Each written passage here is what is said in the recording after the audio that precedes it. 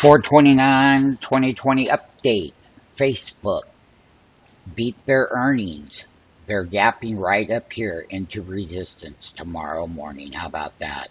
Look at that now. If that's not called a V-shaped recovery, you tell me what it is.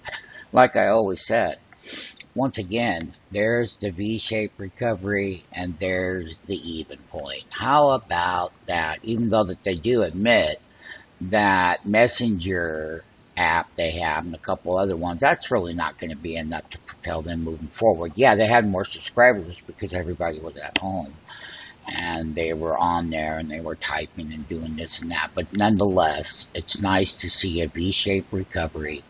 It's going to gap up here to the even mark and we're going to look to see it starts a reversal off of that opening bell. We bought the calls on it because we knew after what Google did, we shorted Google going into the report and then covered and got out and then Google popped nicely. So Facebook and AdBrevs moving forward, look, this is getting back to even.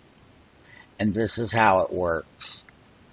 And now you're going to have to make a decision. Do I chase the stock or do I fade the stock on the opening bell?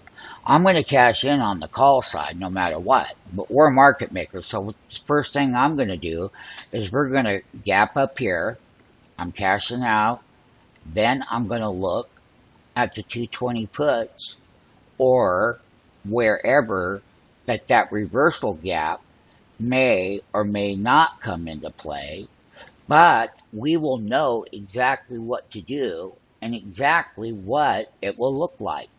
So, once again, for all of those people, which is a minority of people, if they were holding on to Facebook, they probably are asking themselves a question what do I do? Do I sell it now that I have a chance?